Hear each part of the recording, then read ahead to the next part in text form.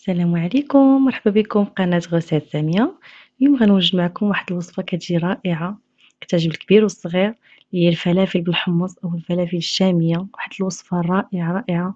بقاو معايا حتى الأخير وتشوفوا المقادير.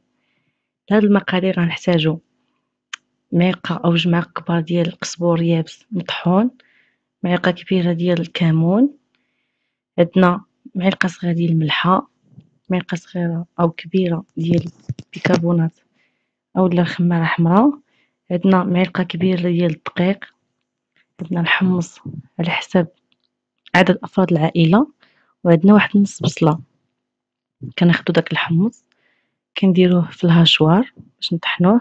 كنضيفو عليه المكونات اللي هي الربيع والبصلة ربع ديال البصلة.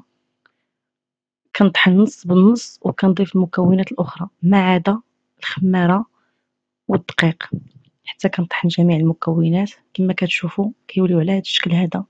ما كتبقاش فيهم حتى شي حبة هكا صاينة. كنطحنوه كامل حتى كيولي عجينة. كنضيفو الطحين ونضيفو ديك البيكربونات اللي هي خمارة حمراء. من بعد كنشوفو واش باقي فيها الماء.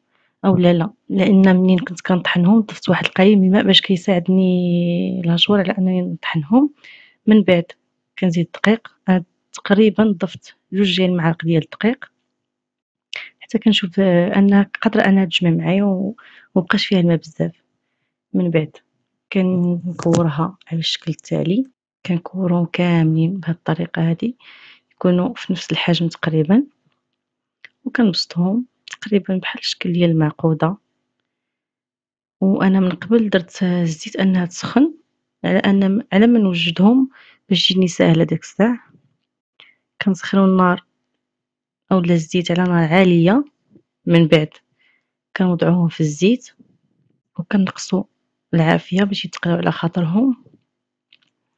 كنشوفهم كيتحمروا عاوتاني كنقلبهم جهة أخرى من بعد ما كيتحمروا كنديرهم في واحد المنديل الورق في الطبسيل باش كيشربوا الزيت مع أنهم ما كيشربوش الزيت نهائيا كيجيو ناشفين بحال تحمروا في الفران كيجيو مقرمشين من برا وما شاربينش الزيت بصفة نهائية كتجي واحد الوصفة رائعة رائعة. كتعجب الكبير والصغير وصدقوني أنكم إلا جربتوها ما غاديش تندموا. وصافي كنكمل جميع الكميات ديالي في هذه الطريقة هذه ونتلاقاو مع الشكل النهائي.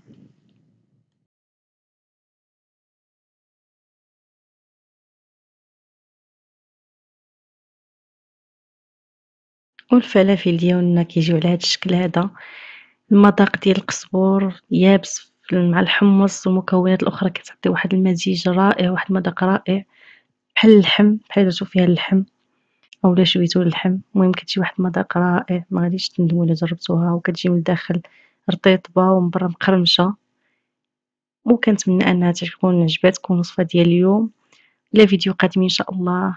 خليتكم على خير.